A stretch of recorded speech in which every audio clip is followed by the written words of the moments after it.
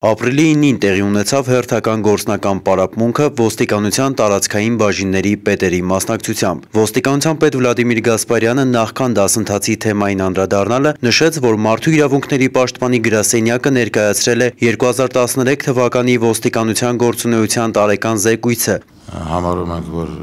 բավականին լավ փաստաթուղթ է, սակայն մեր թերությունները շատ ավելի շատ են, քան թե ֆիքսված է,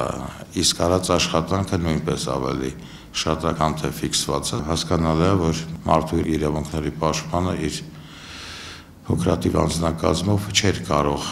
ամբողջությամբ հետազոտել եւ հասկանալ, սակայն ես գտնում եմ, որ լավ փաստաթուղթ է եւ այդ փաստաթուղթը պետք է ձեր աշխատանքային կոլեկտիվներում լինելային քննարկման առարկա, որովհետև այնտեղ ֆիքսված են այն թերությունները, որոնք անհանգստացնում են մեր հասարակությանը։ Այդ առումով շնորհակալություն հայտնենք մարդու իրավունքների պաշտպանին, որպես մի ինստիտուտ, որը դրսից հայացք է մեզ դեպի մեր ոստիկանությունը Ոստիկանության պետն անդրադարձավ նաև նախաքննության ընթացքում տեղ գտնող թերացումներին, ծառայողական քննությունների վիճակագրությանը, օրինականության պահպանման գործում այլ կառույցների հետ համագործակցությանը, այդ խնդիրները դիտարկելով մարդու իրավունքների պաշտպանի զեկույցի համատեքստում։ Այնտեղ 363 իրազեկում ա եղել, իրազեկումները դա ոստիկանության ղեկավարության ցուցումն է, մեր ցուցումն է, որ ցանկացած մարդով մտնում է բաժին կամ բաժնից գնում է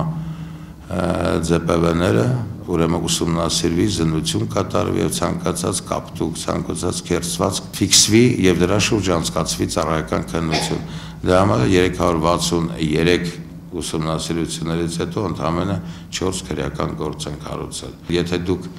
մարդու իրավունքների պաշտպանի ինստիտուտի հետ անընդհատ աշխատեիք, մենք այս թերությունները չէինք ունենա կամ ունենալու դեպքում էլ դրա բարձաբանումը կլիներ։ Այնպես որ ես առաջարկում եմ շատ սերտ համագործակցել մարդու իրավունքների պաշտպանի ինստիտուտի հետ ամենօրյա աշխատանք, որովհետև նորից եմ ասում, մարդու իրավունքների պաշտպանի ինստիտուտը դա դրսից հայացքը դեպի մեզ, դեպի ոստիկանությունը մեր թերությունները դուրս անելու համար, չէ որ մենք ինքներս ենք կոչանում։ Այնուհետև ոստիկանության շտաբի պետ Վարդան Եղիազարյանը եւ կազմակերպված հանցավորության դեմ պայքարի գլխավոր վարչության պետ Ռաֆայել Զաքարյանը ներկայացրին պարապմունքի հարցերը, մանրամասնեցին բաժինների սպասարկած տարածքների առանձնահատկությունները, անդրադարձան անձնակազմերի աշխատանքին, ծառայողական կարգապահության ոլորտի թերացումներին ու դրանց վերացման եղանակներին։ Ծրագրային խնդիրների քննարկումից հետո գործնական պարապմունքի մասնակիցներին տրվեցին կոնկրետ ցուցումներ եւ հանձնարարականներ։